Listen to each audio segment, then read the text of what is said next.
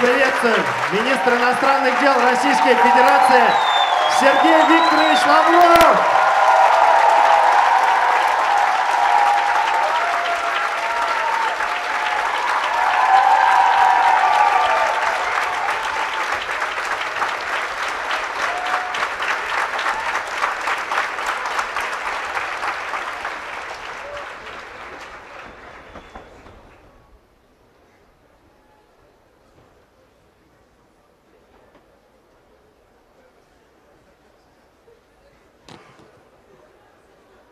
Ребят, еще раз поприветствуем.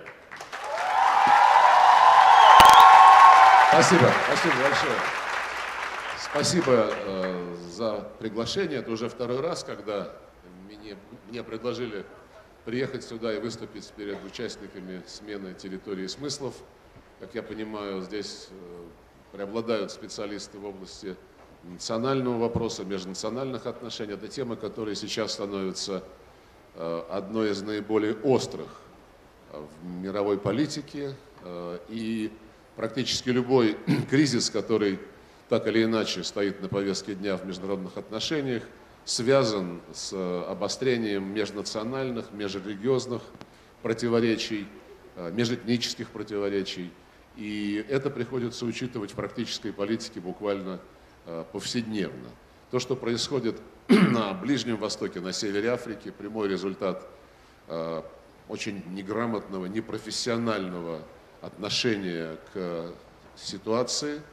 Э, это результат, э, в общем-то, более крупной тенденции, которая сейчас наблюдается в мире, э, противоречия между объективным процессом формирования полицентричного миропорядка, в котором много центров силы, много центров влияния, а, и, э, с другой стороны, стремлением стран Запада, которые несколько столетий считались законодателями мод в мировых отношениях, стремлением этой группы стран любой ценой, без преувеличений всеми средствами, сохранить свое доминирующее положение. Понятно, что это никому не удастся, это в истории тоже никому не удавалось, даже в колониальные времена приходилось как-то договариваться, а не диктовать свою волю.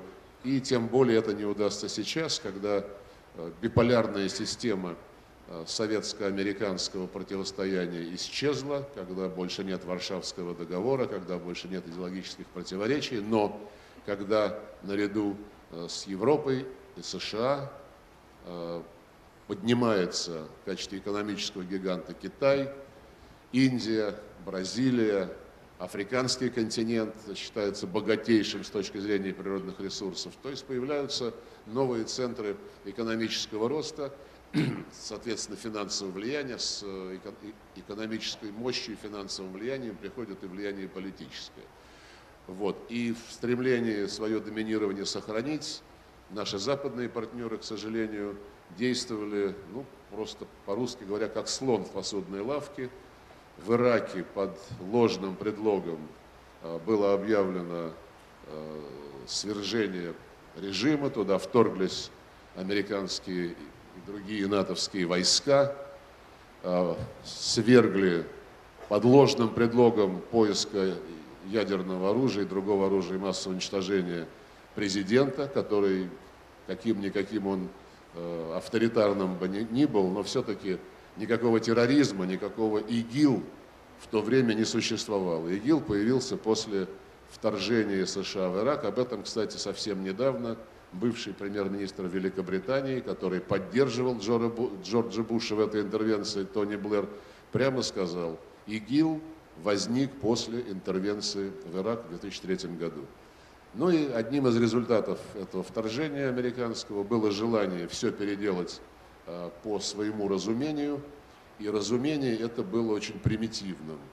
Взяли и выгнали всех суннитов, которые при Саддаме Хусейне были правящей группой э, мусульман в Ираке, хотя и в меньшинстве, и передали все функции шиитскому большинству. А сунниты были выброшены из армии, из служб безопасности, из полиции, из всех маломальски значимых Э, силовых ведомств, да и не только силовых ведомств. И они оказались без работы, а это в большинстве своем были люди, которые прекрасно умели обращаться с оружием и мало что еще умели. Сейчас костяк вот этого самого исламского государства, это офицер, бывшие офицеры армии Саддама Хусейна, которые ничего общего не имеют с идеологией исламизма, радикализма, экстремизма, но их наняли на работу. Наняли на работу те, кто манипулирует общественным сознанием и апеллирует к религиозным чувствам, а, и, конечно, апеллируют э, к таким лозунгам, как необходимость восстановить справедливость. А, арабские страны а, предстают как жертвы, жертвы того, что западная цивилизация игнорирует их интересы, что внутри обществ есть огромная проблема нищеты, недоразвитости, отсутствия доступа к образованию. И под этими лозунгами молодежь вербуется для того, чтобы участвовать в террористических бригадах, а то и просто надевать пояс шахида. Это пример как абсолютное игнорирование этнического и конфессионального, а, межрелигиозного, если хотите, а, Ирака, а, состава иракского населения привело к фатальной ошибке. И страну, в которой да, был авторитарный режим, но была полная стабильность, была предсказуемость. И э, все вопросы, связанные с подозрением про, про оружие массового уничтожения, были урегулированы, просто превратили в государство на грани развала, каковым сейчас Ирак и является, хотя мы всячески стремимся помочь иракскому обществу, прежде всего подавить угрозу терроризма, а во-вторых, восстановить свое единство. Для этого необходим межнациональный диалог, чтобы и сунниты, и шииты, и курды – если мы говорим о э, многообразии, чувствовали себя э, комфортно. То же самое произошло, когда э, состоялась агрессия против, против Сирии путем натравливания на законное правительство террористического интернационала в лице ИГИЛ, но уже не только, и Джабхат Ан-Нусра, и многие другие группировки, которых наши партнеры считают Э, такой приемлемой оппозицией регулярно блокируются с Джабхат Ан-Нусры, осуществляют совместные операции. Примеров тому множество. Если будет у вас интерес, можно будет об этом поподробнее рассказать. Но опять же, ведется война, которая обрела э, конфессиональные измерения, потому что э, Асад представляет собой сунниты, которых, да, большинство в Сирии – Э, но они были традиционно не у власти. И сейчас э, под этим соусом, под этим предлогом пытаются э, опять же использовать вот этот вот раскол внутри ислама на суннитов и шиитов для того, чтобы свергнуть неугодный режим. Права меньшинств, права большинства – это все очень важно. Решать это необходимо не войной, не свержением суннитами шиитов и шиитами суннитов. В Ираке шииты свергли, или ради, ради свержения суннитов привели к власти шиитов, а в Сирии пытаются ради свержения Башара Асада привести к власти суннитов. Межнациональные проблемы, наверняка здесь много специалистов, которые больше в этом разбираются, чем я, можно решать только через диалог, только через поиск согласия. И Сирия, конечно, она состоит не только из э, мусульман шиитов и мусульман суннитов. Это колыбель христианства. Вообще Ближний Восток – это колыбель христианской религии. А, Ближний Восток – это а, место, где тысячелетиями сосуществовали три великих мировых религии а, – ислам, иудаизм, христианство. И происходящее там сейчас реально грозит разрушить этот баланс, который при всех кровопролитнейших войнах, э, при э, том, что случилось в результате крестовых походов, этот баланс все-таки сохранялся. И если наша просвещенная эпоха будет свидетелем разрушения этого баланса, это будет позор на все наши головы. И э, число христиан стремительно сокращается. В Сирии, в Ираке их стало на порядок меньше. И эта тенденция должна быть остановлена. Мы вместе с нашими коллегами, кстати, из Ватикана в том числе, а, проводим серию мероприятий, чтобы привлечь внимание к недопустимости христианофобии. в рамках Организации по безопасности и сотрудничеству в Европе принято решение и созданы специальные докладчики по проблемам христианофобии, исламофобии и э, антисемитизма. А, и только равным отношением вот, к религиям, к национальностям можно сегодня решать какие-то, э, да любые проблемы по большому счету. Если э, говорить о том кризисе, который сейчас сопряжен с мигрантами в Европе, это тоже сторона, одна из, из сторон той же самой проблемы. Когда мигранты сначала пытаются адаптироваться, у них это не очень получается, и западное общество, западноевропейские общества на каком-то этапе, когда пошли первые волны Э, трудовых мигрантов, тогда еще не было мигрантов, беженцев, от, э, спасающихся от конфликтов. Тогда Европа пыталась э, воспользоваться американской концепцией плавильного котла, мол, вот все живем вместе, переженимся, детей нарожаем и будем все как одно единое целое. Не получился в Европе плавильный котел.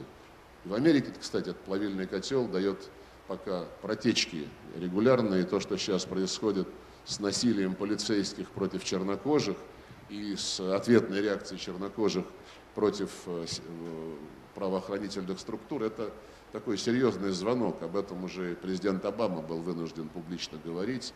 Э, это еще предстоит американцам осмыслить.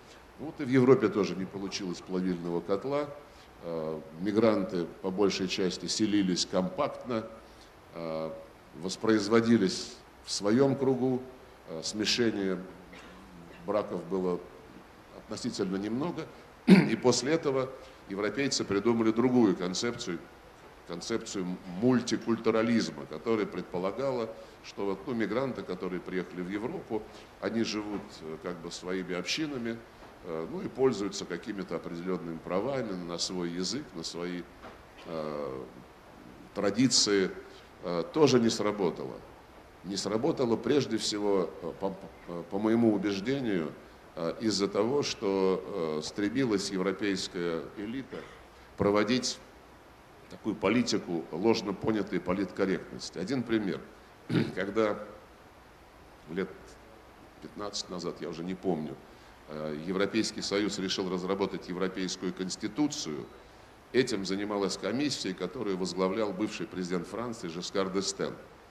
И э, Конституцию в итоге не смогли принять, но а приняли Лиссабонский договор, который сейчас тоже подвергается испытаниям. Но когда речь шла о Конституции, Жескар Дестен абсолютно без всяких колебаний в проекте, который он готовил для рассмотрения европейскими странами, записал «Европа имеет христианские корни». А, когда это стали обсуждать, у многих возникли сомнения, как же так, это неправильно, в Европе сейчас живут и мусульмане, и представители других религий. Да, Европа, конечно, складывалась на основе христианства, но мы же теперь открыты для всех других а, конфессий. А, это было, по моему убеждению, колоссальной ошибкой. Потому что как только ты, да и вообще стали говорить, не очень правильно э, как бы бравировать тем, что ты христианин. И вообще показывать, что ты принадлежишь к какой-то религии. А, стали, если вы помните, э, даже запрещать изображение креста на общественных зданиях, на школах. Рекомендовали э, гражданам не носить крест, чтобы он, таким образом, чтобы он был на виду. Мое глубокое убеждение, что как только ты забываешь о своих корнях нравственных, духовных, тут же или скоро тебе становятся безразличны и духовные корни, и нравственные ценности других. А, поэтому то, что сейчас происходит, э, исламофобия в Европе набирает силу. А, мигрантов обвиняют э, в абсолютно неприемлемом поведении, и вы видите, как Э, эти обвинения подтверждаются фактами, но одновременно пытаются эту проблему замести под ковер. А происходит обратная реакция. Мигранты ведут себя так, как они хотят, потому что нравственные ориентиры э, утеряны и э, их, их не хотят э, возрождать, о них считается стыдным упоминать, ну и в ответ они получают исламофобскую реакцию. Так что Я думаю, я здесь остановлюсь своим вступительным словом, потому что можно долго на эту тему рассуждать, приводить примеры, но мне кажется, будет правильно, если мы с вами интерактивно пообщаемся. И э, мне хочется и вас послушать, и узнать, какие вопросы вас интересуют. А я постараюсь отреагировать э, максимально откровенно. Сергей, спасибо огромное. Э, вы действительно... Во-первых, мы знаем, знаем ваш график работы, по, и он действительно очень плотный. Еще раз благодарим за то, что вы нашли возможность э, приехать к нам на форум, послушать вопросы ребят. Спасибо большое. Наш форум проходит уже э, третий год по поручению президента. Мы его делаем совместно с общественной палатой. У нас у каждой смены есть партнер. Вот партнер этой смены, специалистов межнациональных отношений. У нас Федеральное агентство по делам национальностей. Такая смена проходит впервые. И действительно много ребят, много вопросов. Форумы наши э, есть не только здесь, по всей стране более 15 форумов проходит э, такого рода. И э, не только наши ребята приезжают на такие форумы, но и иностранные участники с удовольствием приезжают на, на наши форумы и включаются в такое профессиональное сообщество. И вот мне кажется, было бы правильным э, первый вопрос дать форуму, который проходит, э, по, по, по теме форума, который проходит параллельно сейчас в Крыму, форум э, от, по Таврида. Пожалуйста.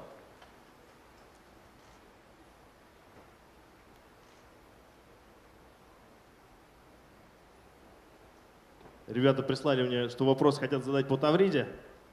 Пожалуйста, у кого вопрос по форуму Таврида? Да, пожалуйста. Передайте микрофончик, да, вот в центре, пожалуйста.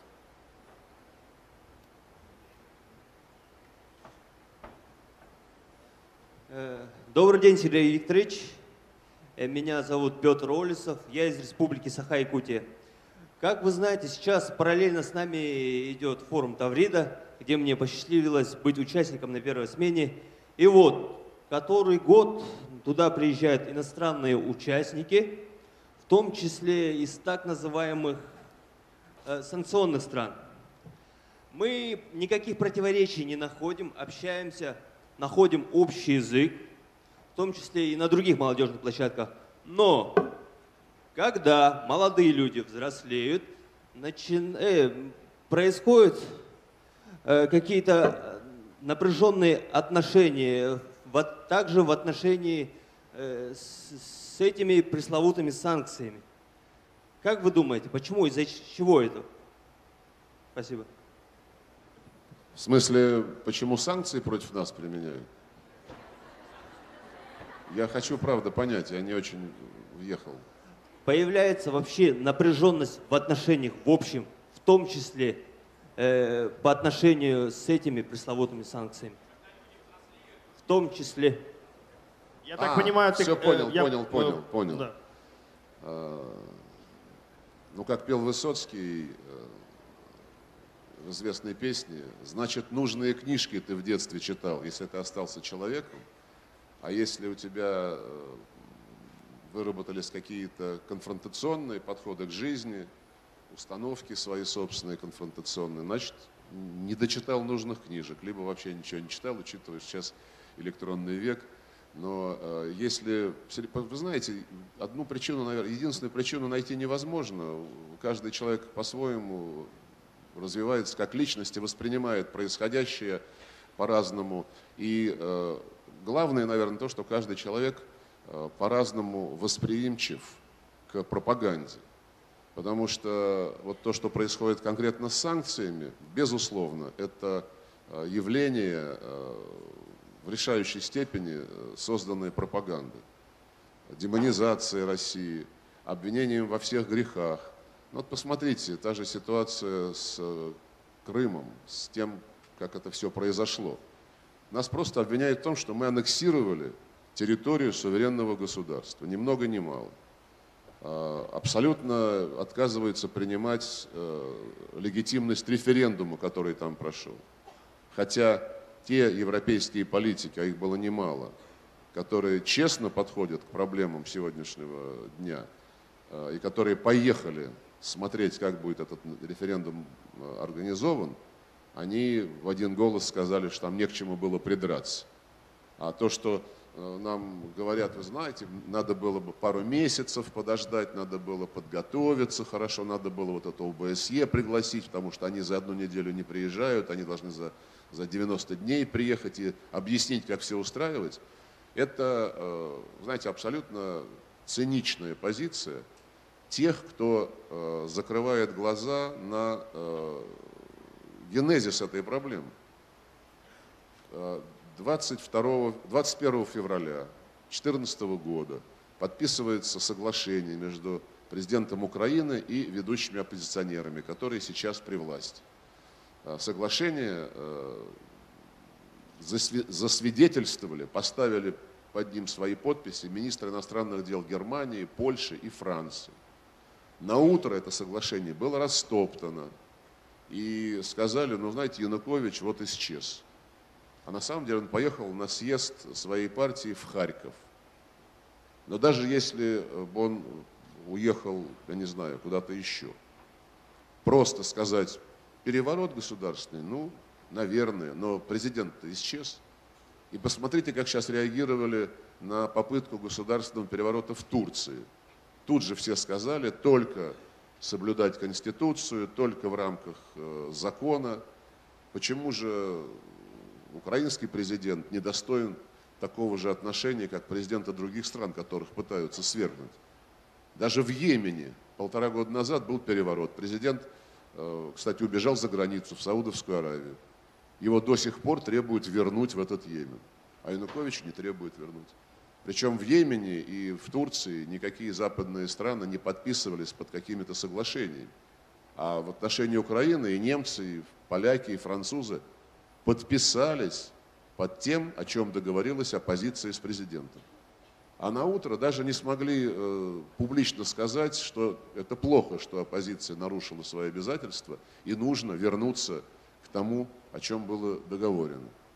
Но уже 22 февраля, когда этот переворот произошел, в Харькове проходил съезд народных депутатов Украины всех уровней – и Верховной Рады, и местных законодательных собраний. А, это были юго-восточные области, и депутаты Крыма и Севастополя. Они приняли единогласное решение о том, что они не согласны с незаконным антиконституционным переворотом. И до тех пор, пока не будет восстановлена конституционная власть и конституционный порядок, они, депутаты, избранные украинским народом в разных э, регионах, берут на себя всю полноту ответственности за положение на юго-востоке Украины, а также в автономной республике Крым и в городе Севастополе. Это все, что они сделали. Они никакие не поднимали народное ополчение, чтобы брать штурмом Киев и свергать путчистов. Они просто сказали, вот мы, живущие здесь, через избранных нами депутатов, не принимаем переворот государственный и будем отвечать за покой, порядок и организацию жизнедеятельности на этих территориях. А, тут же, через несколько дней, новые власти, которые пришли э, в Киев, э, в Киев в результате вооруженного переворота, а, дали команду правому сектору и еще паре подобных э, экстремистских организаций взять Верховное, здание Верховного Совета Автономной Республики Крым. Дмитрий Ярош, который возглавлял правый сектор, в те же дни сказал, русский в Крыму никогда не будет украинцем, поэтому он должен быть либо уничтожен, либо изгнан из Крыма. Потом туда были направлены боевики, которые всерьез пытались захватить здание Верховного Совета Крыма, им это не позволили. А потом туда поехали так называемые поезда дружбы, которые боевики правый сектор направляли э, с тем, чтобы устроить там насильственный э, захват власти. И как вы думаете, в такой ситуации можно было приглашать ОБСЕ за 90 дней, э, спрашивать у них, где лучше поставить избирательные урны? Да ничего подобного. Крым был реально под угрозой, под угрозой э, захвата террористами и экстремистами, которых новая власть в Киеве всячески использовала для того, чтобы э, вот, совершить то, что она совершила. И э, поэтому, когда референдум прошел, когда было ясно, что крымское население просто было под прямой угрозой э, захвата и э, лишения всех, всех и всяких прав. И мы не могли, Россия не могла, ни президент России, ни парламент России не могли по-другому отреагировать, когда по итогам референдума к нам обратились с просьбой о том, чтобы Крым воссоединился с Россией. И это произошло. И здесь опять же очень важно иметь в виду межнациональный аспект и национальный вопрос. Э, Крымский полуостров – а пока он находился на Украине, ну вы знаете, как он там оказался, тоже это было незаконное решение, волюнтаристское решение Никиты Хрущева. Но пока он находился уже в независимой Украине, не было сделано ничего для того, чтобы улучшить жизнь для населения Крыма, включая крымских татар. А, вообще крымско-татарский вопрос использовался всеми президентами независимой Украины для того, чтобы ситуацию так немножко держать в напряжении, и для того, чтобы, если говорить честно, теперь это уже понятно, противодействовать сохранению Крыма в качестве земли, политой кровью русского народа, наряду с другими народами. Когда Крым воссоединился с Россией, один из первых актов нашего государства, указ президента – которым установлены были три государственных языка в Крыму – русский, украинский и крымско-татарский. Был принят указ о политической реабилитации крымско-татарского народа. Украинская власть за 20 с лишним лет правления в Крыму не удосужилась этого сделать. И была принята федеральная целевая программа по развитию Крыма и Севастополя, э, которая нацелена на то, чтобы обеспечить гармоничное э, развитие всех народов, которые населяют Крым. Поэтому, когда сейчас э, говорят о необходимости прекратить оккупацию Крыма, когда этот вопрос постоянно наши украинские соседи вбрасывают по поводу и без повода, это выглядит просто лицемерно. Тем более, что Крым – это открытая территория, туда любой может приехать, и те, кто хочет знать правду, а не просто довольствоваться лозунгами, те приезжают, и те убеждаются – что вся вот эта пропаганда, она выеденного яйца не стоит. А, поэтому здесь, понимаете, вот, наверное, ответ на ваш вопрос, я прошу прощения, что такой экскурс в историю в недавнюю сделал, но ответ на ваш вопрос а, заключается в следующем. Когда вы, молодые люди разных стран, общаетесь друг с другом, вам вместе хорошо, вы чувствуете а, какую-то взаимную приязнь, симпатии – Наверное, надо просто не расставаться, когда заканчивается смена. Тем более, что сейчас это делать легче, чем когда был первый фестиваль молодежи и студентов в Советском Союзе еще в 1957 году. Тогда участники фестиваля обменивались адресами и письма друг другу писали. И все равно, даже вот при таких, теперь уже ясно, допотопных методах коммуникаций, дружбу сохраняли, потом встречались. А сейчас э, с современными средствами это можно ежедневно делать.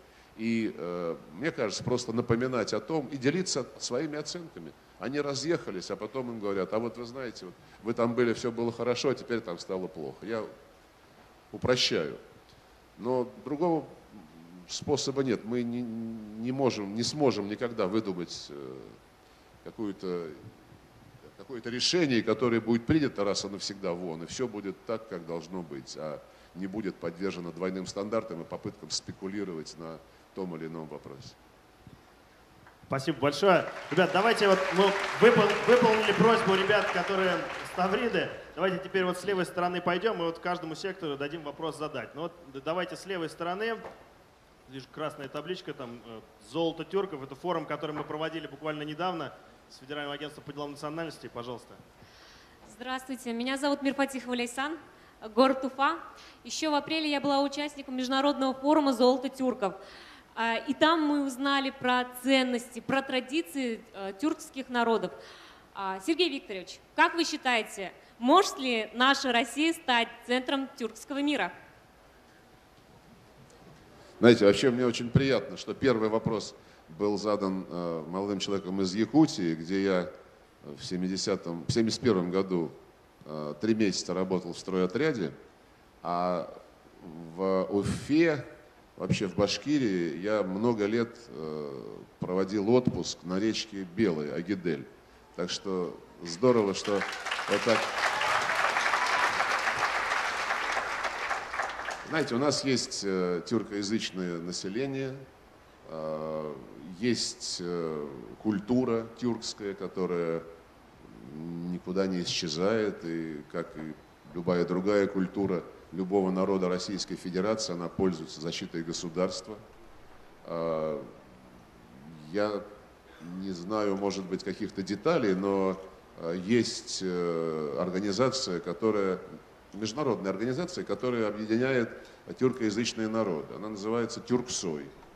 А, в ней участвует целый ряд российских регионов, включая Башкирию. Она включает также в себя, эта инициатива Турции была в свое время, включает другие туркоязычные страны, бывшие республики Советского Союза, Казахстан, Киргизия, Азербайджан. И соответствующие российские регионы в этом участвуют. Есть также, это, она, эта вот организация, которую я сказал, Тюрксой, она в основном посвящена культуре, языку, Э, гуманитарному сотрудничеству. А есть межгосударственная организация Совет сотрудничества тюркских государств, э, куда Россия уже не входит, потому что э, это надо, чтобы доминирующее население было тюркским. Но я не вижу проблем с тем, чтобы мы и к этой организации присоединились, потому что, скажем, организация исламской конференции, бывшая, она называется Организация исламского сотрудничества, Россия там стала наблюдателем, потому что у нас мусульмане не доминирующая э, группа населения, но 15 миллионов как минимум это тоже немало. И по правилам этой организации в нее можно вступать в качестве наблюдателя вот при наличии большого сегмента мусульманского населения.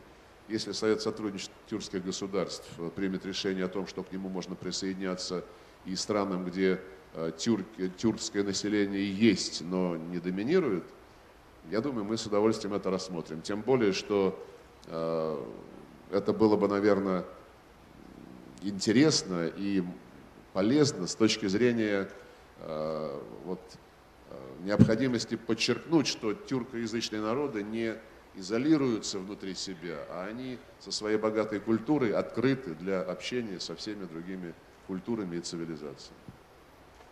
Спасибо большое. Давайте вот к среднему сектору перейдем. Сергей Ильич, вы можете и сами вопрос, если вам какой-то нравится, подсказать, выбрать. Нет, нет, нет, пускай. Нет, ну, тут сложно просто, столько рук. Э, ну, давайте, вот у нас была девушка, давайте вот молодому человеку из центра вот дадим вопрос. Вот, пожалуйста. Не увидел у вас просто знак вопроса. Пожалуйста, передайте микрофон. Спасибо.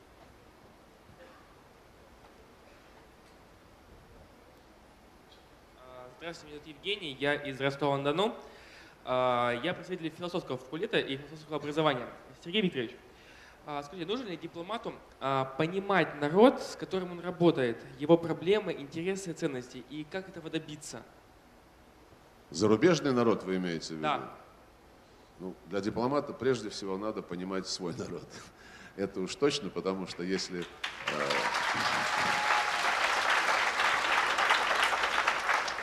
Потому что иначе ты будешь э, плавать э, в своей профессии.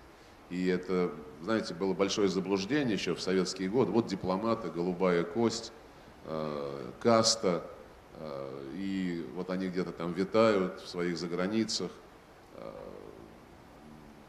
Был такой элемент вот, в советской дипломатии, что ну, как бы вот это особое отрасль деятельности, решение принимало Политбюро, и потом эта дипломатия осуществлялась.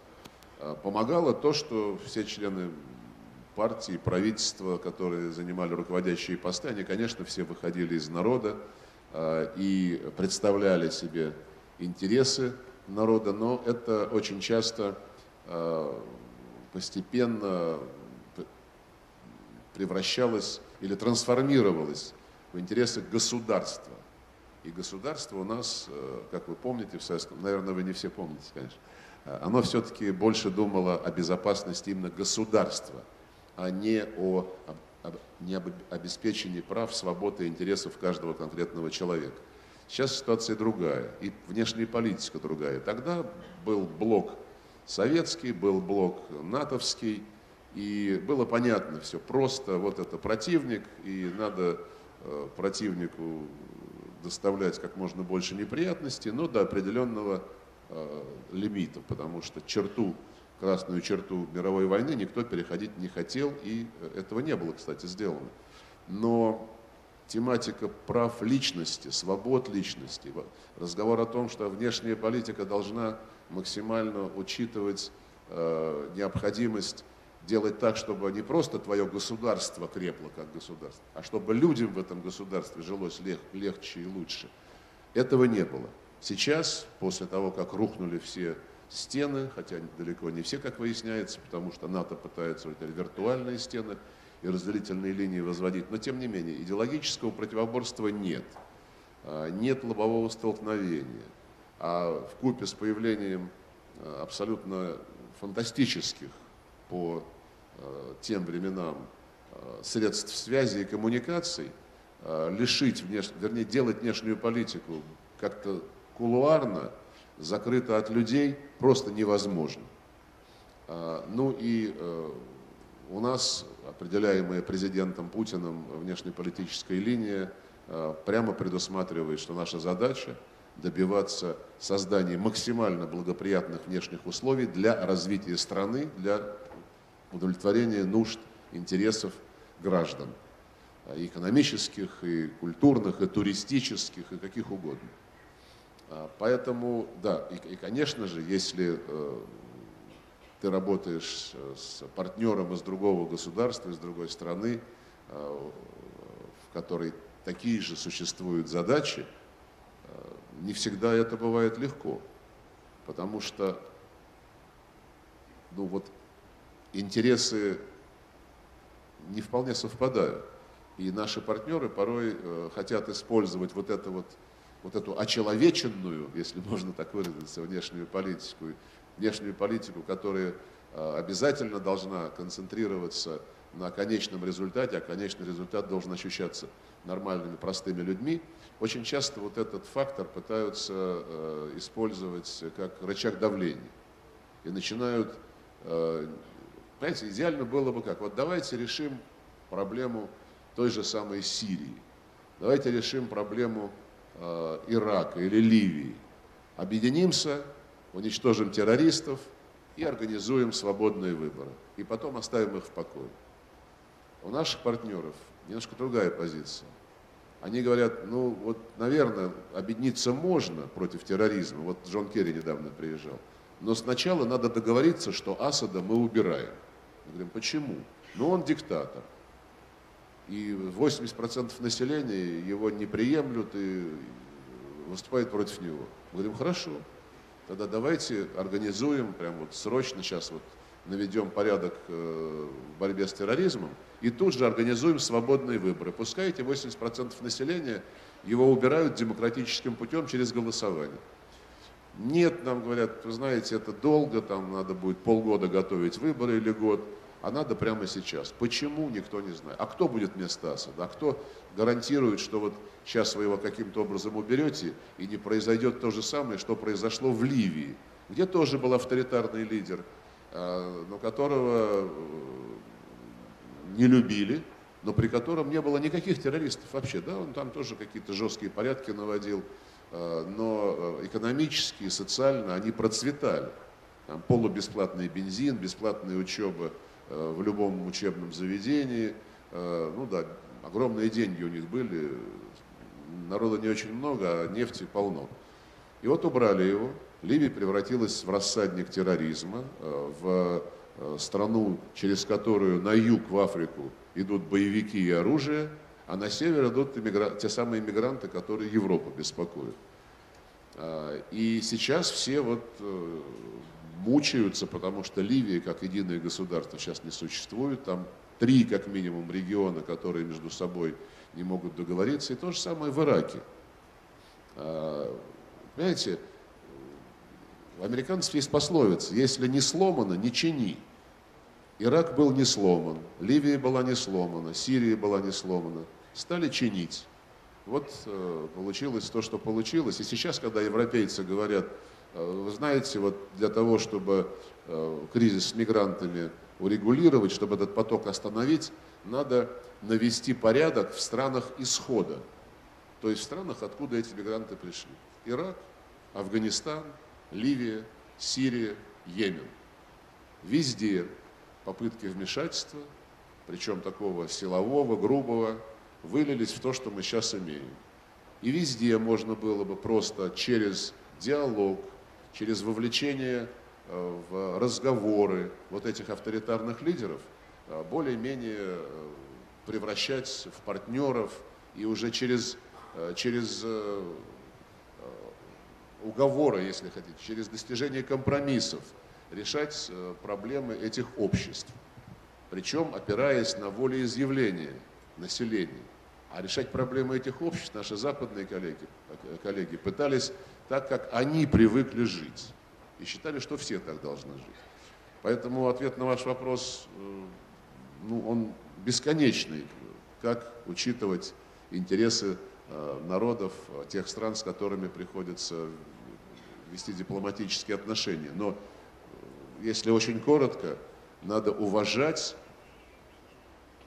исторические традиции, культурные традиции этих народов, уважать их жизненный уклад, их мировоззрение.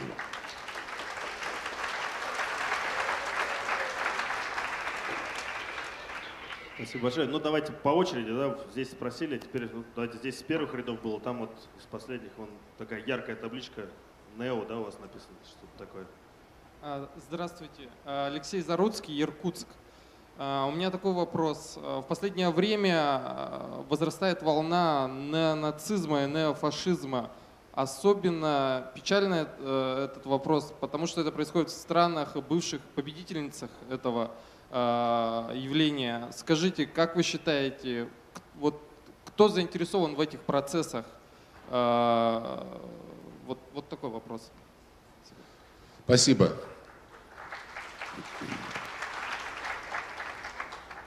Кстати, прошлым летом был на Байкале в очередной раз, с огромным удовольствием. А, это очень важный вопрос, который вы подняли, а, потому что, казалось, после победы во Второй мировой войне Европа, а, да и Америка, и весь мир сделали правильные выводы. Был созван Нюрнбергский трибунал, кстати, осенью будет 70-летие э, приговора Нюрнбергского трибунала отмечаться. Мы планируем целый ряд событий. А, Нюрнбергский трибунал вынес решения, которые не подлежат какому-либо какому-либо значит, э, отводу или сомнению. Был принят устав Организации Объединенных Наций, в которой черным по белому записано, что Э, все, что сделала держава победительница, является вечным и нерушимым. А, но, к сожалению, э, сейчас вот эта вот прививка, прививка от фашизма, от э, расизма в такой уродливой форме, эта прививка постепенно проходит. И мы делаем все, чтобы нынешние поколения, да и следующие поколения никогда не забывали о той страшной войне и о том, кто э, спасал мир, а кто пытался подчинить весь мир своей воле. Э, то, что в цивилизованных европейских странах поднимают голову неонацисты, э, это факт. Мы об этом говорим постоянно с нашими европейскими партнерами, прежде всего указывая на то, что происходит в Латвии, в Эстонии – где э, ежегодно проводятся марши ветеранов Waffen-СС, э, в том числе с подключением периодически членов правительства, членов парламента. Э, то, что это Евросоюзу не доставляет комфорта, это факт. Но они, к сожалению, в плену своей вот так называемой солидарности – и пытаются а, ублажать вот эти республики прибалтийские, объясняя это нам то, что ну, у них, понимаете, у них такое прошлое было, у них э, фобии остались после того, как они были в составе Советского Союза. Они сейчас самоутверждаются. Но если самоутверждение происходит за счет попустительства возрождению неонацизма, это нас очень сильно тревожит, и это уже не, не просто внутреннее дело Евросоюза, как они пытаются это представить.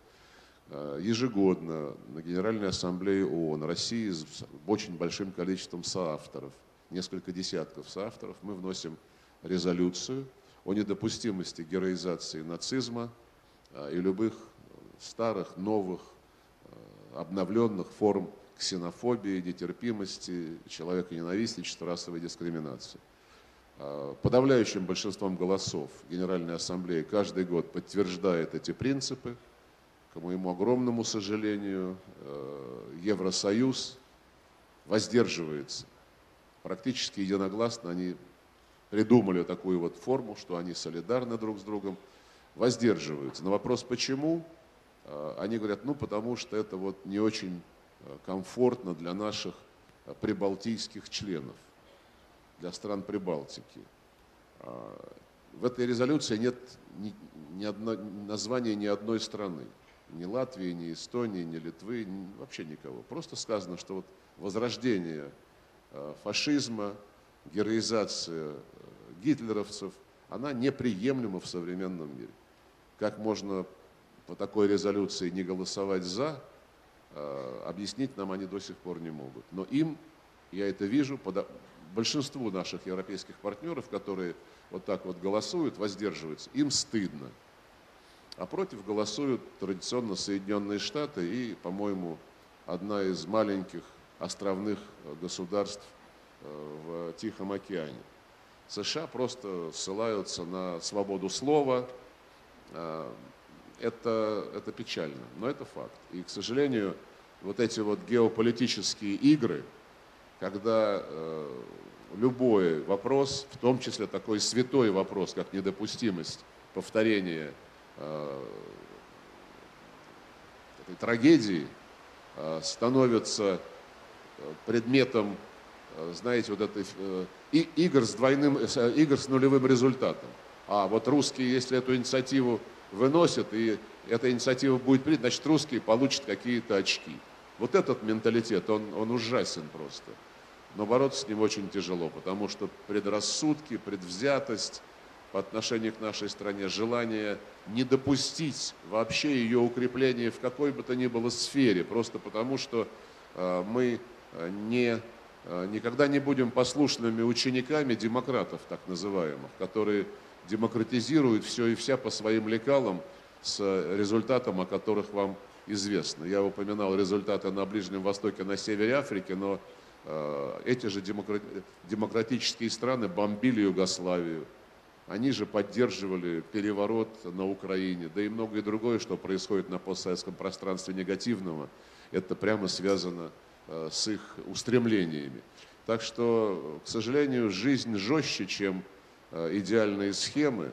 Э, и помимо нормальной конкуренции, которая должна быть всегда и в, внутри страны, за ее пределами, есть конкуренция недобросовестная. Мы это сейчас наблюдаем в самых разных Э, ипостасях, включая, кстати, вот эти допинговые, допинговые скандалы. Но э, жизнь борьба, и надо продолжать бороться, тем более, что мы э, свою правоту э, отстаиваем честно и не пытаемся жульничать. Спасибо большое. Ну давайте по очереди, теперь сюда. Вот, ребят, вы меня простите, я понимаю, что все хотят задать вопрос, но давайте вот ну, справа, вот самого, да, вот девушка, вот у вас с российским флагом, по-моему. Сергей Викторович, здравствуйте. А вот меня зовут Андрей. Девушки не уступили, ладно, хорошо. Меня зовут Андрей, я из Воронежа. У меня вопрос следующего характера. Самые разные, некоторые из международных сил стараются как можно побольнее ударить Россию из-под тяжка, используют для этого самые разные инструменты. Эм, нас не сломит, но все равно неприятно. И вопрос такого характера, что простить можно, а что уже простить нельзя. И проиллюстрировать это на примере Турции, ну и в целом из истории. Спасибо. Знаете, вообще э, и христианство, и другие великие мировые религии э, учат прощать, уметь прощать. Э, безусловно, это не абсолютная вот, данность. Прощать можно людей, которые раскаялись, и э, готовы э, открыть новую страницу.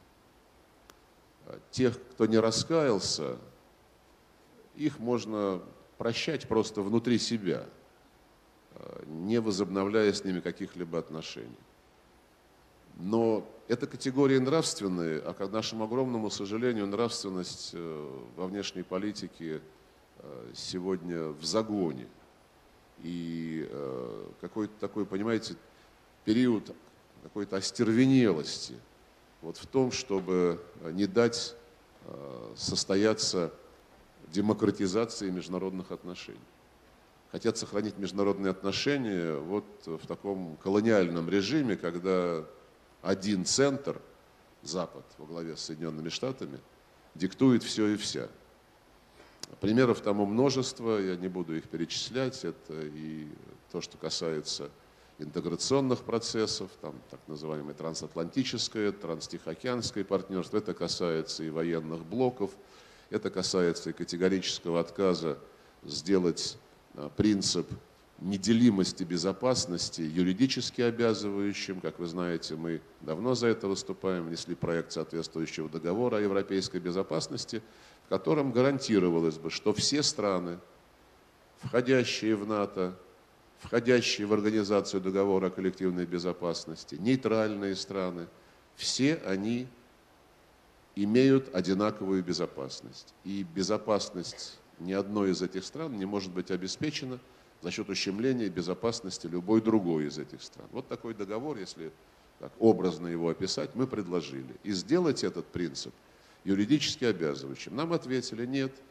юридические, юридические гарантии безопасности мы будем давать только членам НАТО.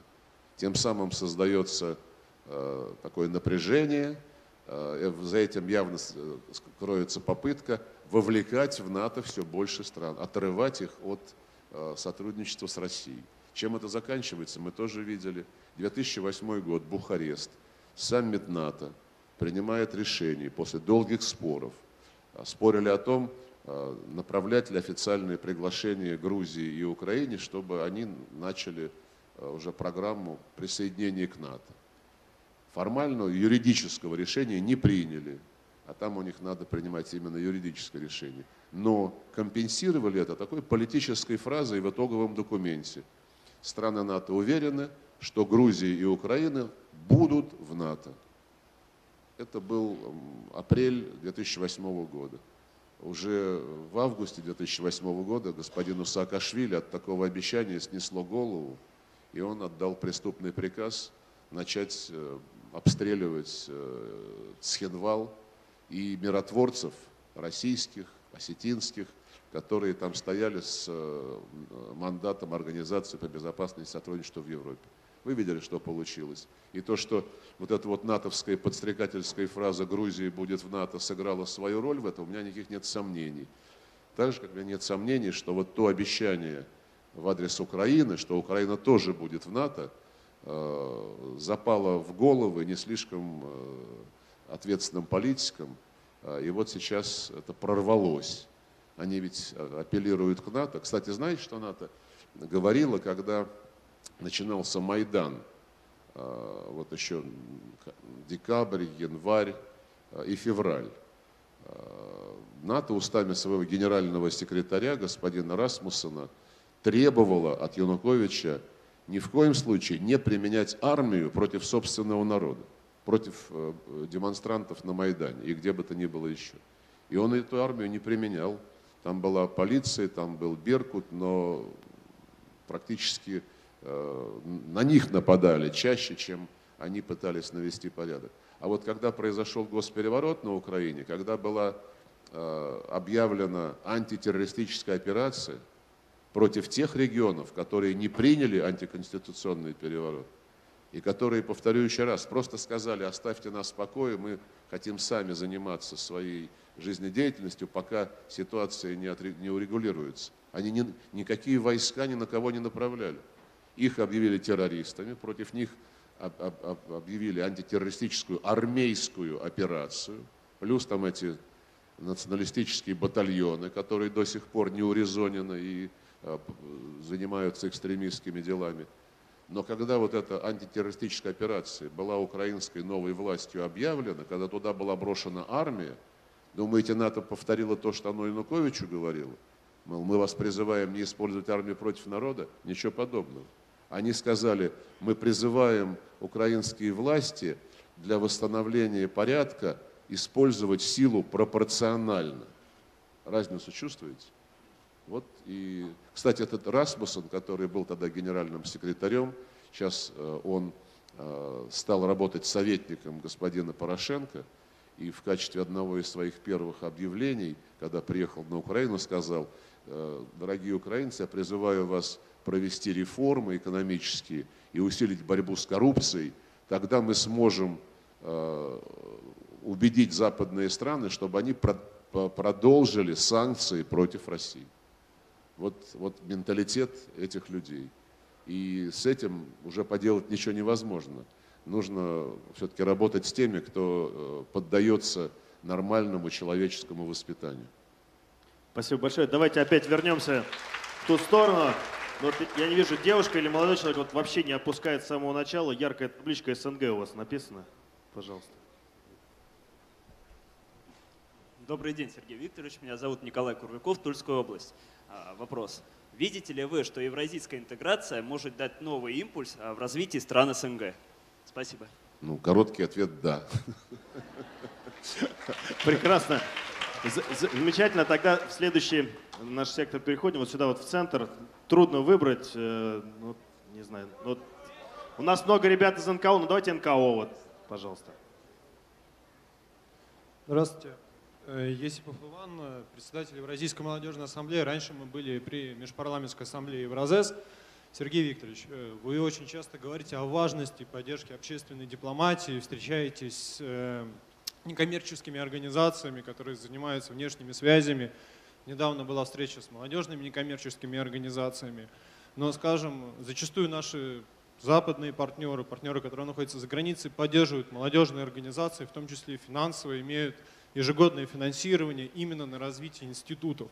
В том числе они зачастую взаимодействуют за счет наднациональных институтов. Считаете ли вы возможным финансирование молодежных организаций, работающих на международной арене, налаживающих международные связи, том числе и за счет наднациональных институтов, поскольку они позволяют обойти очень огромное количество дипломатических барьеров, с которыми, которые имеют различные государства. Вы имеете в виду финансирование молодежных организаций через наднациональные институты? И поддержку наднациональных молодежных организаций в рамках ЕАЭС и СНГ, таких как, скажем, Молодежная межпарламентская ассамблея СНГ. Потому что, к сожалению, молодежные организации, они частично очень плохо работают из-за отсутствия поддержки именно национальных э, министерств иностранных дел. Ну, прежде всего, я хочу еще два слова сказать на предыдущий вопрос, отвечая потому что евразийская экономическая интеграция, конечно же, будет способствовать развитию стран СНГ, э, но этот вопрос, он э, требует небольшого пояснения. Мы, в отличие от некоторых других государств, не создаем закрытые блоки. Все интеграционные механизмы, которые созданы на пространстве бывшего Советского Союза с участием России, они открыты. Они открыты для членства, для сотрудничества со всеми другими странами, которые в этом заинтересованы. И Евразийский экономический союз э, это провозгласил в своих уставных документах. Интерес к сотрудничеству с ним огромный. Э, только что, не так давно, пару месяцев назад, было подписано первое соглашение между Евразийским экономическим союзом и Вьетнамом. Это соглашение о зоне свободной торговли. Э, интерес к аналогичным договоренностям с Союзом а, проявляют другие страны АСИАН, да и весь АСИАН в целом. И еще пара, тройка, десятков, э, десятков стран э, Азии, Латинской Америки, Израиль, кстати сказать. И уже с 12 государствами, помимо Вьетнама, подписаны меморандумы о том, что мы начинаем консультации. Еще пять таких меморандумов будут, будут подписаны в самое ближайшее время – это как бы Евразийский экономический союз и его партнеры. Одновременно есть Шанхайская организация сотрудничества, которая э, ну, объединяет большинство населения мира, вот теперь, когда Индия и Пакистан в нее вступают. и которая по членскому составу где-то перекликается с Евразийским экономическим союзом. Там есть и Россия, и страны Центральной Азии. А, и есть еще а, другие государства, которые на большом а, евразийском континенте расположены. Вот наш интерес в том, чтобы развивать интеграцию с полным использованием преимуществ всех этих структур, и Евразийского экономического союза, и Шанхайской организации сотрудничества, и китайской, китайского проекта экономического пояса «Шелкового пути», вот между всеми этими процессами уже установлены связи, и мы хотим их гармонизировать и извлечь максимальную выгоду для каждого участника. Плюс недавно в Сочи был саммит Россия-АСЕАН, на котором президент Путин предложил странам АСЕАН тоже посмотреть, как они могут подключиться э, к этому э, такому большому евразийскому проекту. Я думаю, у него очень большое будущее. Насчет молодежных организаций, вы знаете, ну, Министерство иностранных дел э, не финансирует, мы не грантодающая организация. Э, мы являемся учредителями нескольких фондов по решению президента и правительства, которые, в свою очередь, занимаются субсидированием э, неправительственных структур. Прежде всего, я имею в виду э, фонд поддержки публичной дипломатии имени Горчакова. Они ежегодно получают э, определенные, ну скромные, но все-таки бюджетные деньги, и они имеют право привлекать спонсорские средства, и они это делают. У нас немало э, наших компаний российских э, занимаются вот такой поддержкой неправительственных организаций. Конкретно по молодежным структурам интеграционных механизмов, это все-таки нужно решать э, в рамках этих многосторонних э, союзов и организаций. Э, я буду только за, но вот в том, что касается финансирования, здесь МИД не, не обладает такими возможностями, а вот через фонд Горчакова, если вы просто заявку направите в него, там у них есть определенные критерии. Главный критерий, они Э, оказывают э, грантовую поддержку неправительственным организациям российским, которые работают на международных направлениях. Если вы подпадаете, то обращайтесь. Спасибо большое. Ну давайте по очереди вот сюда. Давайте вот по, давайте вот по очереди перейдем сюда. Обязательно сейчас вот вернемся и вам обязательно дадим задать вопрос. Ну, давайте вот, наверное, про Арктику все-таки важный вопрос. Давайте все-таки дадим. У нас такой форум был «Арктика». Сергей Пожалуйста. Викторович, здравствуйте, меня зовут Алтына, я, я здесь, я в конце, да.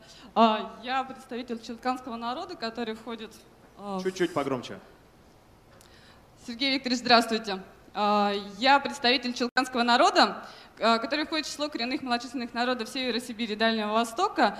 И у нас такой вопрос, то что часть коренных малочисленных народов территория принадлежит к арктической зоне. И есть такое мнение, что на сегодняшний момент Россия соревнуется с США и Канадой за право отдать э, Китаю, который, в свою очередь, не торопится брать на себя это право и ну, думает со временем, считает, что он на себя это возьмет. Я знаю ребят, которые проживают в, зоне, в арктической зоне, и вижу, что Россия возвращается в Арктику, и вот у меня такой вопрос, что как вы считаете, кто для России будет ну, партнером по арктической зоне? Я первую часть, вы считаете, что мы соревнуемся с США и Канадой за право отдать Арктику Китаю? Да, ну вот за право владения или нахождения на, в Арктике. Ну так, вот такое просто как Нет, мнение. Знаете, если, если США и Канада свою часть Арктики хотят кому-то отдавать, они сами взрос, взрослые люди. Но э, наша арктическая зона, это наша арктическая зона. Э, сейчас ее границы уточняются в плане, в сторону расширения. Мы э, оформили окончательно заявку э, дополнительную на э, пространство континентального шельфа в Арктике. Она сейчас будет, она уже подана в комиссию ООН по границам континентального шельфа, которая была создана в соответствии с Международной конвенцией по морскому праву. И заявка будет рассматриваться вот в ближайшие полгода-год. Она у нас очень серьезно, научно обоснована, к ней подходили, к ее подготовке очень тщательно подходили, и мы будем ее отстаивать. Что касается партнеров, с которыми мы в Арктике сотрудничаем, есть Арктический совет, в который входят пять непосредственно прибрежных стран э, к Северному Ледовитому океану, еще три э, страны, которые соседствуют с ними. Арктический совет – это межправительственный орган. Э, в нем сейчас председательствуют Соединенные Штаты Америки. На два года каждая страна председателем становится, и раз в два года проходят министерские встречи. Очередная будет вот в Соединенных Штатах весной следующего года – а, эти страны э, не ведут себя как собака на сене, мол, это все наше и никого не пустим. Это не так. При Арктическом совете есть наблюдатели.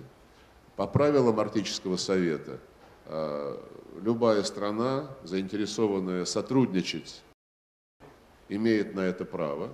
Но критерии такого сотрудничества и правила сотрудничества определяют арктические государства равно как и решение о том, кого принимать в Арктический совет в качестве наблюдателя, тоже принимаются консенсусом арктическими государствами. Китай является в Арктическом совете, и помимо этого Китай заинтересован э, в том, чтобы взаимодействовать и участвовать в практических проектах, которые э, страны э, Арктического совета реализуют. И мы приглашаем китайских партнеров наряду с, скажем, из той же Франции к реализации целого ряда интересных проектов, включая проекты создания мощностей по производству сжиженного природного газа, например. Но, повторю еще раз, сотрудничество и реализация этих проектов проходит, происходит на основе российских законов, потому что это наша часть Арктики, и таковой она и остается. Спасибо большое. Да, давайте, помним, помним, вернемся к вам, помним, помним про вас. Давайте вот, чтобы все было по порядку, давайте в этом. У нас будет еще в форуме и э, межконфессиональный э, да, сегмент нашей образовательной программы. Мне кажется, правильно было бы вот задать, все-таки не было еще вопроса по этой теме. Пожалуйста, вот у вас в самом конце, по-моему, вопрос, да, вот РПЦ, да? У вас табличка. Не совсем вижу, что написано. Да? Добрый день. Э, меня зовут Антон. Я представляю город-герой Волгоград. У меня возникает такой вопрос, но я в целом хотел поделиться наблюдением, что здесь у нас здесь присутствует очень много представителей разных религиозных конфессий и вообще различных религий. В целом нам как-то даже помогает совместно работать а, находить какие-то общие интересы и так далее. Ну и вообще просто как наблюдение, в целом в России тоже такой проблемы не существует. К примеру, допустим, я являюсь представителем баптистов, но мне это не мешает это работать там с католиками, с теми же православными. Но существует какое-то некое наблюдение, что в целом в стране, э, в мире э, возникают конфликты между представителями разных религиозных течений, движений. С одной стороны, в целом они являются братскими, но есть какие-то несостыковки и так далее. И в контексте происходит некое такое событие, которое выбивается из этой цепи. Это то, что русская православная церковь идет на контакт э, с римской католической церковью. И ну, все мы знаем, что э, была встреча вот, нашего патриарха и папы римского. Я спросить, как вы думаете, почему им происходит именно сейчас этот диалог? Именно в этом контексте, когда происходят войны, ну или какие-то стычки вот в этом в целом. Ну, Спасибо. Короткий ответ. Э, потому и происходит именно сейчас, что всплеск насилия в мире с очень серьезным межконфессиональным э, оттенком. Но, э, в принципе, межконфессиональные отношения – это отношения между церквами, между конфессиями, между общинами соответствующими. И государство в них должно, э, не должно вмешиваться, но должно следить, чтобы те проблемы, которые возникают в этих отношениях, не наносили вреда людям, гражданам. И, э, если говорить о международных делах, не наносили вреда э, положению дел в мире. К огромному сожалению, э, вы абсолютно правы, межконфессиональные трения сейчас обострились. Прежде всего, внутри ислама, как это не печально, между суннитами и шиитами прежде всего, и как бы символом вот этого противостояния, очень ожесточенного между суннитами и шиитами, являются отношения между Саудовской Аравией и Ираном. И мы в своих контактах, у нас очень добрые отношения и с Саудовской Аравией, и с Ираном, все время пытаемся какую-то возможность начать движение в пользу того, чтобы исламский мир э, возобновил свою сплоченность. Хотя мы знаем о тех Э, различиях, э, которые лежат в основе суннизма и шиизма, но тем не менее мир он имеет свою организацию, организацию исламского сотрудничества. Мы общаемся с ее руководством, предлагаем им подумать о том, чтобы они проявили инициативу объединения э, мусульманских стран и недопущения того, чтобы эти вот разлады внутри конфессии Э, становились э, причиной или поводом или предлогом для того, что сейчас происходит э, на Ближнем Востоке и на севере Африки. Второй срез – ислам, христианство. Я уже на нем останавливался. Это видно и на Ближнем Востоке, и в Европе видно.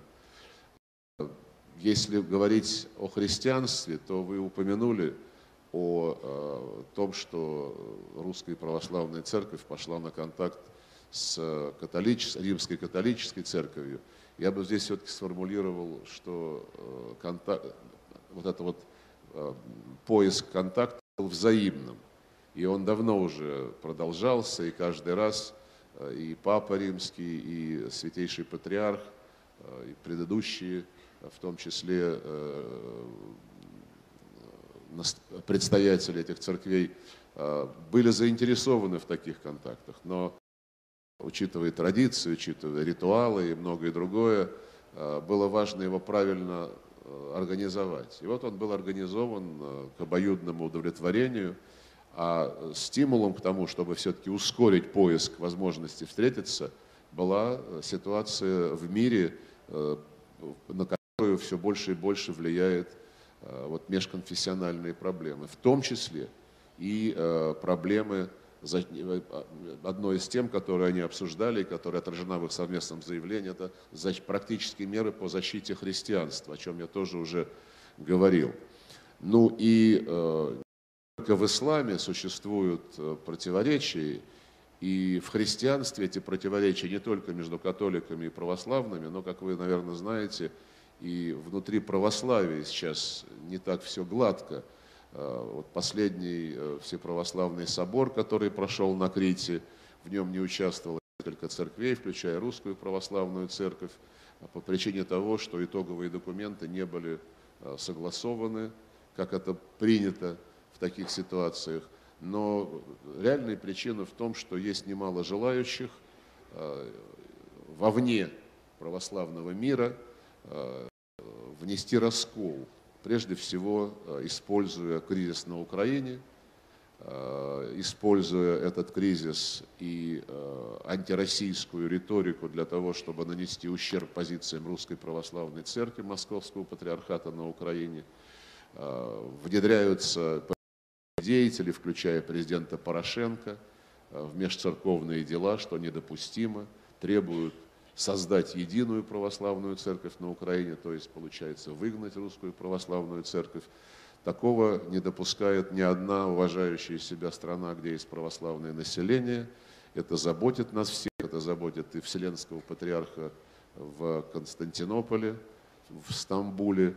Но, повторю, государство заинтересовано в максимальном а, примирении и а, в том, чтобы в дела церковные, чтобы дела церковные решались полюбовно между самими церквами, а использовались в геополитических играх.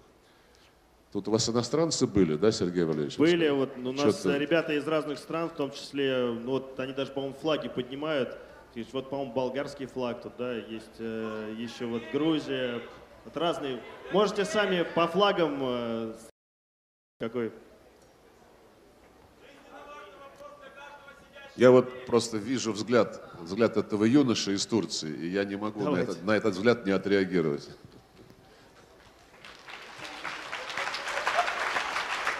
Дайте, пожалуйста, вот микрофон в первый ряд, пожалуйста. А, Худояров Шакир, э, город Саранск, Мордовский государственный университет. Как, как, как еще раз? А, Мордовский государственный университет, город Саранск. Пресс-служба Кремля э, сообщила, что встреча Владимира Владимировича Путина и Эрдогана в первой декаде августа пройдет. И чего ждет э, этой встречи? Э, Что должна сделать Турция, чтобы искупить свою вину? Про прощение мы уже говорили. И как им, что им сделать, чтобы вернуть былое доверие России? Извините, а вы из Турции? Нет. Из Мордовии? Нет. Нет?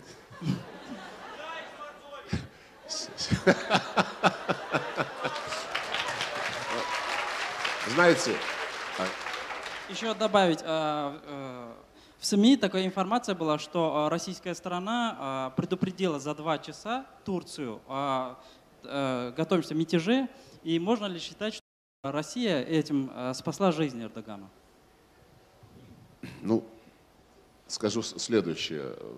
То, как э, развивались наши отношения с Турцией и до 24 ноября прошлого года, когда был сбит российский бомбардировщик, и после э, этого инцидента, э, хорошо известно, об этом многое сказано. Мы считаем, и объявили об этом публично, что этот инцидент отражает неприемлемое поведение турецкой стороны. Э, Кто бы ни стоял за э, этой акцией, э, совершенно неправомерный, когда бомбардировщик уже без э, боеприпасов возвращался после антитеррористической операции и был сбит не э, в турецком воздушном пространстве, а в сирийском. И мы заняли очень твердую позицию, потому что это было ну, фактически нападение, э, которое мы э, никакими э, объяснениями оправдать не можем. А, У нас вызвало удовлетворение, что в итоге через 7 месяцев, но все же нас турецкая сторона услышала. А, Было получено послание на имя Владимира Владимировича Путина от э, Реджепа Таипа Эрдогана, о котором вы знаете, в котором были нужные, правильные слова. А, Это позволило организовать телефонный разговор между двумя президентами, в ходе которого они, как вы знаете, условились поручить двум правительствам приступить к нормализации отношений. Эта работа уже идет. Объявлены э, регулярные рейсы, э, в том числе, которые прерывались из-за террористического, из-за попытки государственного переворота. С сегодняшнего числа регулярные рейсы возобновлены. И э, вот в ближайшие дни будут контакты между экономическими э, блоками двух правительств другим вопросам. И президенты, да, договорились провести в ближайшее время, э, в ав- в августе, наверное, это состоится, личную встречу. Э, Понимаете, когда вы говорите о том, будет ли восстановлено былое доверие, это очень абстрактная категория. Все зависит от того, э, как теперь мы будем подходить к взаимодействию и контактам. Причем не только к двусторонним э, контактам, не только к тому, как мы будем дальше торговать, покупать друг у друга что-то, строить что-то совместно, реализовывать какие-то другие инвестиционные проекты, но еще многое будет зависеть от того, как мы будем взаимодействовать по регулированию сирийского кризиса. А, Так получилось, что вот в период после того, как был сбит наш бомбардировщик и э, соответствующие решения нами были объявлены о замораживании Турции, а, в ходе дискуссий по сирийскому кризису а, мы предъявили очень много фактов, которые говорят о том, что турецкая территория активно используется для подпитки террористов, э, для переправки боевиков в Сирию. Эти факты остаются на столе. Сейчас, когда мы возобновили наши отношения, э, уже трудно будет игнорировать то, что мы предъявили. Мы рассчитываем, что наши турецкие партнеры э, теперь уже э, будут отвечать на эти вопросы. А причем, да, и не только отвечать, но и принимать меры к тому, чтобы их территорию не использовали для того, чтобы поддерживать эту братоубийственную войну и поддерживать э, террористов, которые э, пытаются достичь своих целей в Сирии, которых совершенно не заботит судьба сирийского государства. Со своим турецким коллегой э, недавно в Сочи у нас там проходило заседание такой организации, есть организация Черноморского экономического сотрудничества. Мне кажется, турецкие соседи понимают, что нужно гораздо более доверительно теперь сотрудничать, э, тем более, что и в самой Сирии за эти 7 месяцев ситуация серьезно изменилась, и создаются предпосылки для того, чтобы мы там победили террористов и организовали подлинный межсирийский диалог, чтобы только сами сирийцы определили будущее своей страны. Ребят, а давайте мы попросим э, всех наших иностранных участников если можно, привстать, а мы им поаплодируем за то, что они до нас добрались, приехали. А привстаньте все, кто из других стран приехал. Спасибо вам большое. Спасибо. Слышь, ну сейчас будем точно не ошибиться. Вот молодой человек вот в центре стоит, и он сразу руками начал. Пожалуйста. Пожалуйста. Здравствуйте. Меня зовут Оливер Мукенди активист молодежной ассамблеи народов Татарстан и президент Союза африканский студент город Казань. Господин Сергей,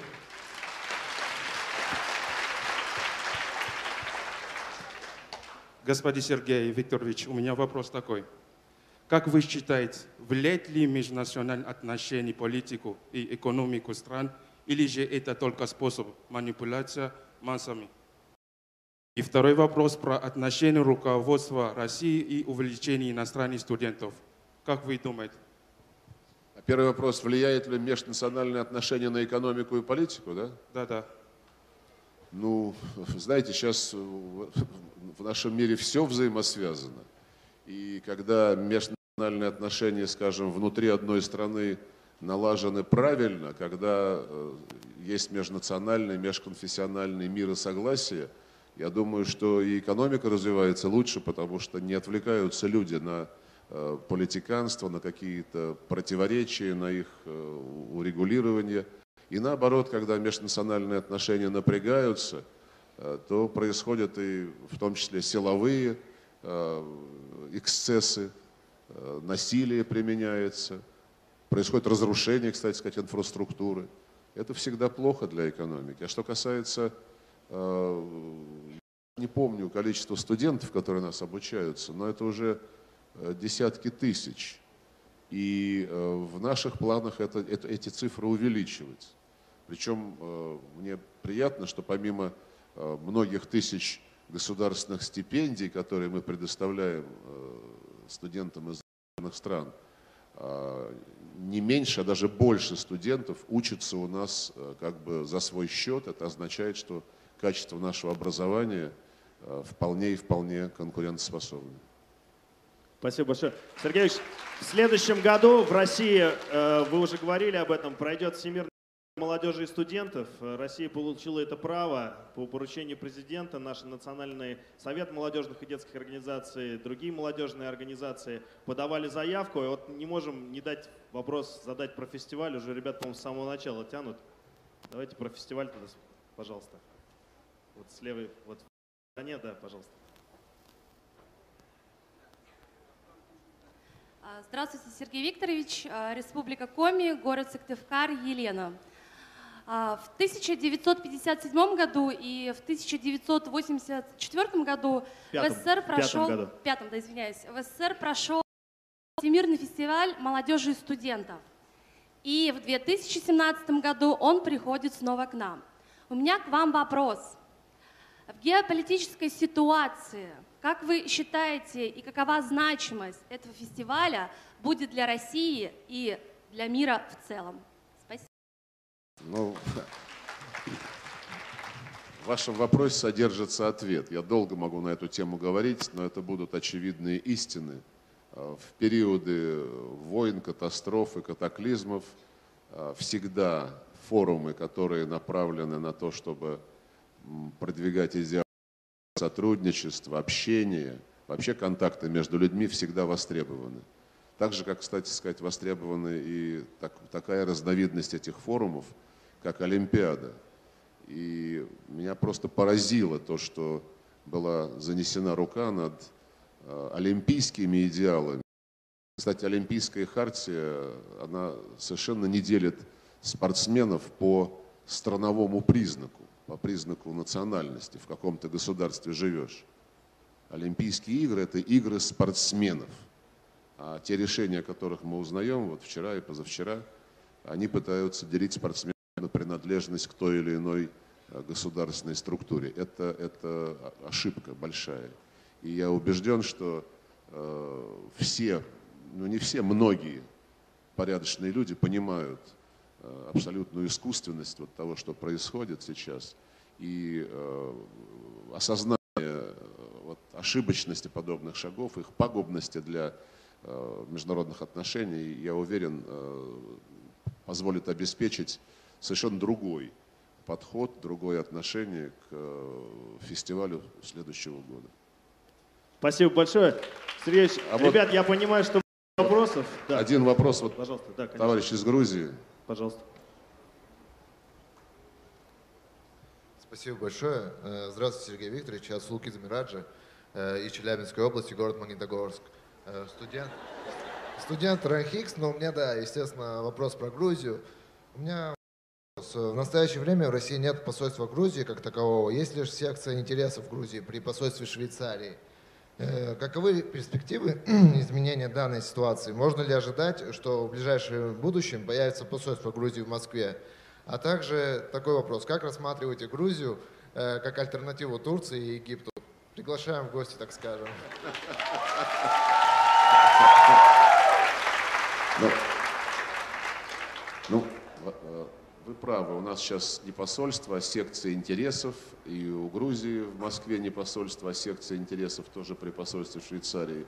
А, это сопряжено с тем, что грузинское руководство при Михаиле Николаевиче Саакашвили разорвало дипломатические отношения с Россией. А когда дипломатические отношения разорваны, а, посольство должно закрыться, и открывается секция интересов при посольстве другой страны, которая такую услугу вам оказывает. Тут Швейцария вызвалась оказать такую услугу Грузии, в Москве и нам в Тбилиси. Но все понимают, что физически никто никуда не уехал, просто табличка была заменена с посольства на секцию интересов на тех же зданиях и в Москве, и в Тбилиси. И такую ситуацию можно исправить только одним способом – восстановить дипломатические отношения, поскольку мы их не разрывали – конечно, ход за нашими грузинскими соседями. А, что касается Грузии как э, э, территории э, отдыха со смыслом, я целиком за, я очень люблю Грузию. К сожалению, сейчас мы лишены возможности в силу моей, моего официального статуса ездить друг к другу в отсутствие дипломатических отношений. Но у меня много друзей, которые там часто бывают, которые Э, любит эту страну. Наверное, все мы любим эту страну, как с тех пор, как э, мы вместе жили в одном государстве. И я уверен, что мы эти все проблемы решим. Уже сейчас чувствуется, что больше здравого смысла в наших отношениях. Создан канал, который на уровне э, моего заместителя Григория Карасина и представителя президента Грузии господина Зураба Абашидзе – они регулярно встречаются, нащупывают какие-то э, возможности, э, позволяющие отношения все-таки нормализовывать. Возобновилась торговля и продукцией, и вином, и боржоми. Теперь у нас незапрещенный напиток. Мне кажется, это правильная, правильная э, тенденция авиасообщения. Много очень, три компании чартеры регулярно там, в день по, по несколько рейсов. Мы готовы рассматривать обновление регулярных рейсов. Э, повторяю, все это находится на повестке дня, и вопросы будут решаться, я убежден. Главное, главное, чтобы мы э, исходили из того, что э, вот народы, которые там живут, они должны сами договариваться друг с другом, и надо уважать каждый из этих народов. По-моему, такое понимание сейчас у наших грузинских коллег укрепляется. Ребят, давайте поблагодарим Сергея Викторовича за то, что он нашел возможность в своем плотном графике быть с нами. Сергей Викторович, спасибо вам большое. Ребят, спасибо вам.